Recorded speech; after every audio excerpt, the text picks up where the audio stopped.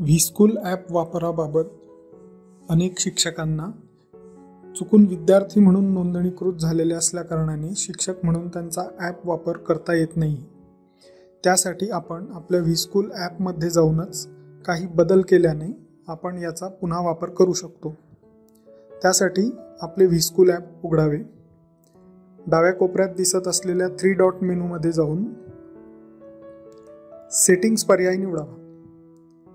यामध्ये तिसऱ्या क्रमांकाला अकाउंट माहिती. हा पर्याय निवडावा.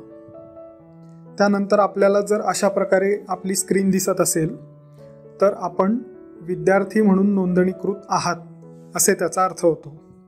त्यानंतर सर्वात शेवटी दिसणारा शिक्षक केंद्रप्रमुख इत्यादी आहात का? हा पर्याय आपल्याला ऑन करायचा आहे. हा पर्याय अशा प्रकारे आपण चालू करू शकता. कन्फर्मेशन यस त्यानंतर आपण शिक्षक म्हणून आहात. या पद्धतीने आपली नोंदणी होईल.